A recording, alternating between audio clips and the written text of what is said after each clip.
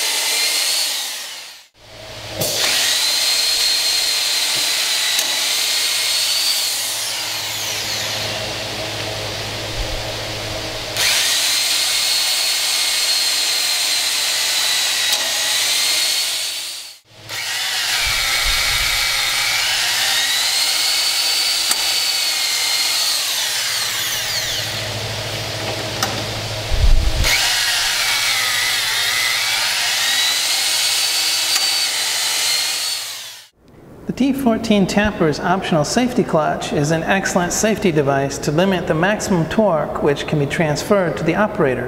When the torque reaches the preset maximum value, the safety clutch will slip, preventing excessive torque from being transferred to the operator's arms. Please note this is not a tapping clutch to prevent tap breakage.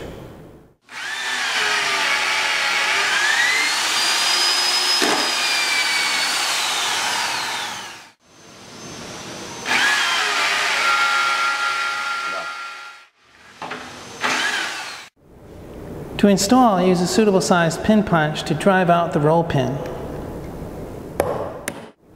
And pull off the standard clutch assembly. Line up the holes and push on the safety clutch assembly. Then drive in the roll pin.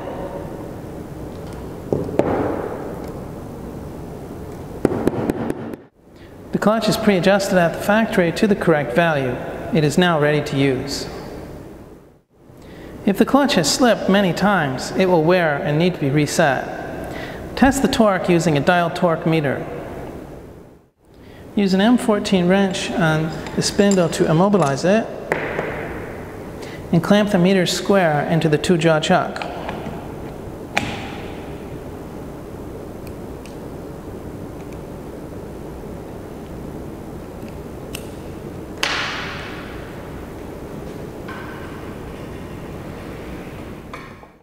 The reading should be 320 to 350 kilogram centimeters. Just first loosen the set screw on the clutch nut with an M2 hex key.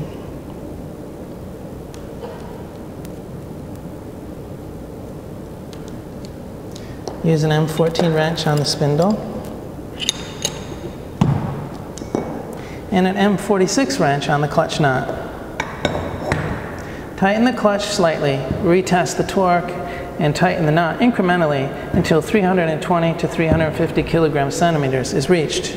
Do not over tighten the nut.